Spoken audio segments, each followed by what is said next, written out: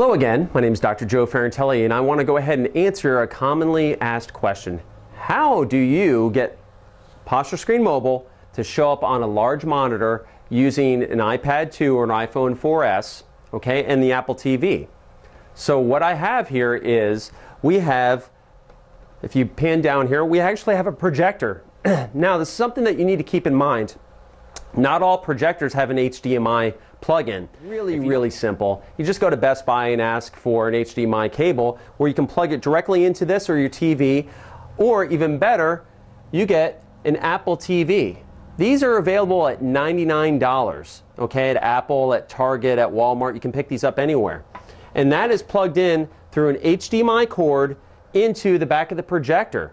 Now, if this was a big flat screen monitor, you would do the same thing. Okay, you would have that plugged in directly to the HDMI projector. Now, if you look over here, it's projecting. I'm going to go ahead and shut off the light. If you look right up here, so it's projecting, and you're asking yourself, self, how does this project up there? Well, the key with this is, is that you have to be on a wireless network. And not just any wireless network, you have to be on a wireless network that you have access rights to. So if you're going to do this at an event, what I recommend you do is you're going to need to bring your own wireless router. That's the only way to do it the right way. Okay? Bring your own wireless router, set it up. You're going to set up your own local wireless network at the event. If you want to do this wirelessly like this and be able to wow the, the crowd because I have no wires attached to me. Okay? The one thing, the one caveat with this is that if you're in a very crowded event and there's a lot of Wi-Fi congestion, there might be some lag time, so you'd want to have your router right next to the Apple TV.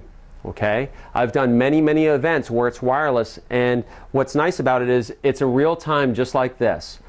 But you can't just use any wireless network. You can't go to Starbucks and accomplish the same task because the Apple TV and the iPad have to communicate. That's the big caveat on those free networks, what happens is they do what's called a firewall. What that means is they don't want somebody being able to snoop into your computer, so they section off a firewall, if you will, between each computer. And what that allows is safe browsing for the most part, okay? But it won't allow my iPad to talk to my, my Apple TV. So that's why you have to have your own network, and they're both running the same network, okay? Once you do that, you plug it into a TV, you plug it into a projector, and voila, you're able to wow your audience, showing them an abnormal posture on a big screen.